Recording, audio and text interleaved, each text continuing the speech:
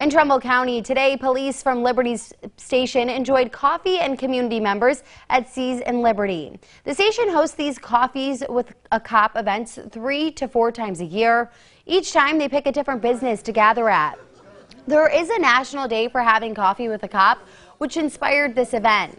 Liberty Township Police Chief Toby Meloro says hosting the event multiple times a year gives the cops and community more time together.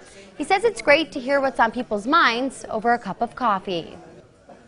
It's about, it's about building relationships, it's about building bonds, and it's about working together.